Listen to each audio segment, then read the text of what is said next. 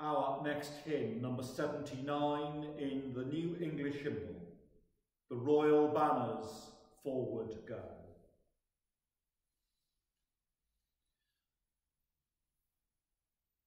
We stand with Christ in his suffering. For forgiveness for the many times we have followed Pilate's procession and not the palm procession of Jesus. Let us pray to the Lord. Lord, have mercy. For all of us trapped in the domination systems of the world, that they may be transformed to be instruments of your kingdom. Let us pray to the Lord. Lord, have mercy. For those who still make Jerusalem a battleground, let us pray to the Lord. Lord, have mercy. For those who have the courage and honesty to work for justice and peace, let us pray to the Lord. Lord, have mercy. For those in the darkness and agony of isolation, that they may find support and encouragement.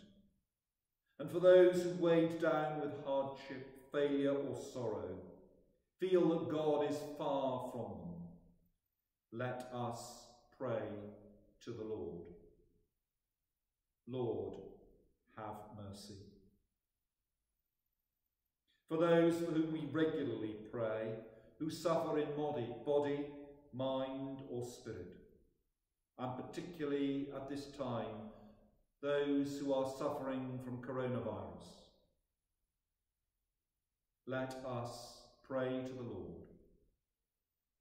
Lord, have mercy.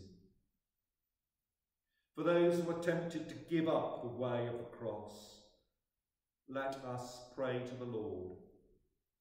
Lord, have mercy. For the souls of the faithful departed, and that we with them may find mercy in the day of Christ, let us pray to the Lord. Lord, have mercy. In union with the Blessed Virgin Mary and St John at the foot of the cross, and with St Anselm and all the saints, we say, Holy God, holy and strong, holy and immortal, have mercy upon us.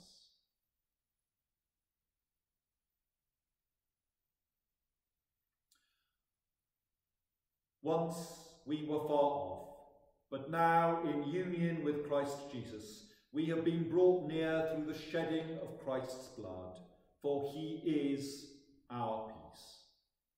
The peace of the Lord be always with you. Our offertory hymn today, number 465 in the New English Hymnal, Thou didst leave thy throne.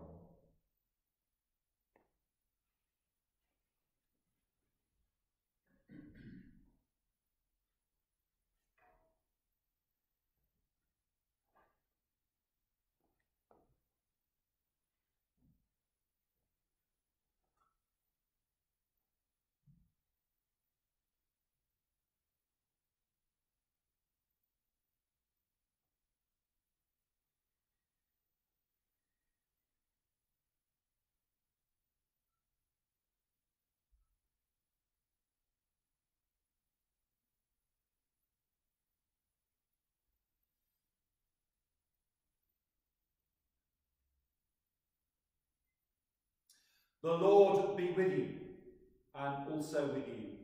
Lift up your hearts. We lift them to the Lord. Let us give thanks to the Lord our God. It is right to give thanks and praise. It is indeed right and just, our duty and our salvation, always and everywhere to give you thanks, Holy Father, Almighty and eternal God, through Jesus Christ our Lord. For as the time of his passion and resurrection draws near, the whole world is called to acknowledge his hidden majesty. The power of the life-giving cross reveals the judgment that has come upon the world and the triumph of Christ crucified.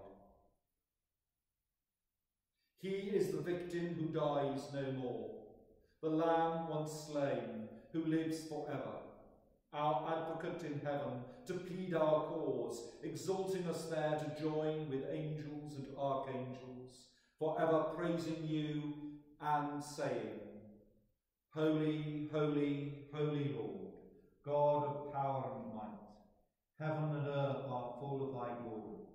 Glory be to thee, O Lord most high. Blessed is he who comes in the name of the Lord. Hosanna in the highest. Lord, you are holy indeed, the source of all holiness. Grant that by the power of your Holy Spirit, and according to your holy will, these gifts of bread and wine may be to us the body and blood of our Lord Jesus Christ, who, in the same night that he was betrayed, took bread.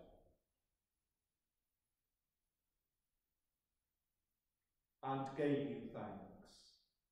He broke it and gave it to his disciples, saying, Take, eat, this is my body which is given for you.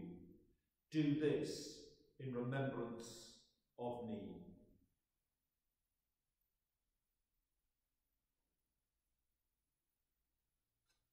In the same way, after supper, he took the cup and gave you thanks. He gave it to them, saying, Drink this, all of you. This is my blood of the new covenant, which is shed for you and for many for the forgiveness of sins.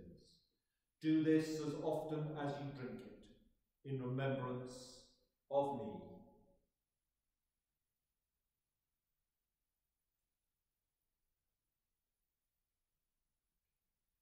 Jesus is Lord. Lord, by your cross and resurrection you have set us free. You are the Saviour of the world. And so, Father, calling to mind his death on the cross, his perfect sacrifice made once for the sins of the whole world, rejoicing in his mighty resurrection and glorious ascension, and looking for his coming in glory, we celebrate this memorial of our redemption. As we offer you this, our sacrifice of praise and thanksgiving, we bring before you this bread and this cup, and we thank you for counting us worthy to stand in your presence and serve you.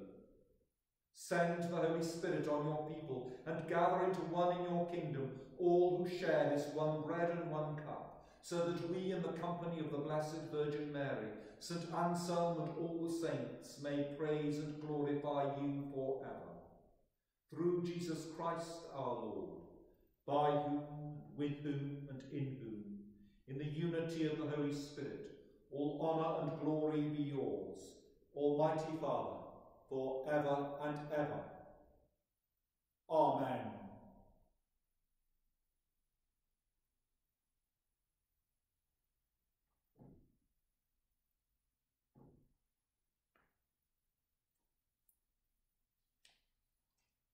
Let us pray with confidence, as our Saviour has taught us. Our Father, who art in heaven, hallowed be thy name. Thy kingdom come, thy will be done on earth as it is in heaven. Give us this day our daily bread, and forgive us our trespasses, as we forgive those who trespass against us. And lead us not into temptation, but deliver us from evil. For thine is the kingdom, the power and the glory, for ever and ever. Amen. Every time we eat this bread and drink this cup, we proclaim the Lord's death until he comes.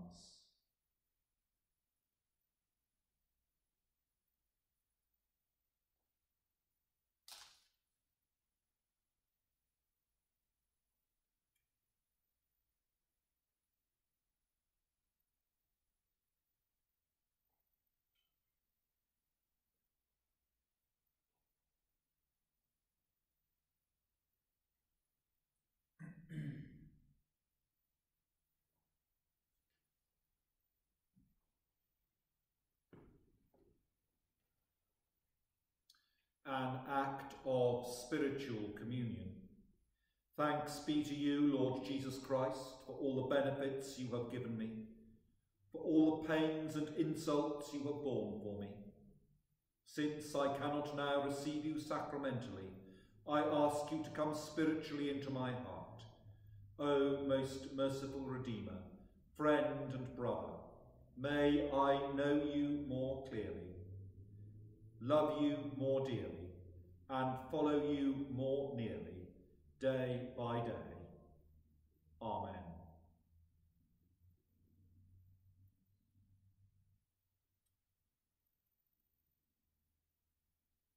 Lord Jesus Christ, you humbled yourself in taking the form of a servant, and in obedience died on the cross for our salvation.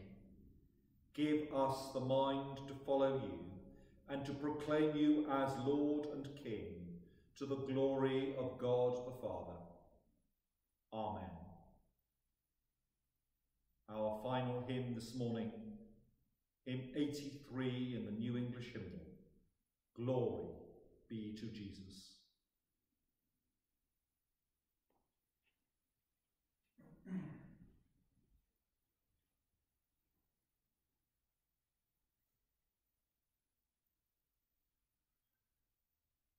Christ crucified draw you to himself to find in him a sure ground for faith, a firm support for hope, and the assurance of sins forgiven, and the blessing of God Almighty, the Father, the Son, and the Holy Spirit be among you and remain with you always.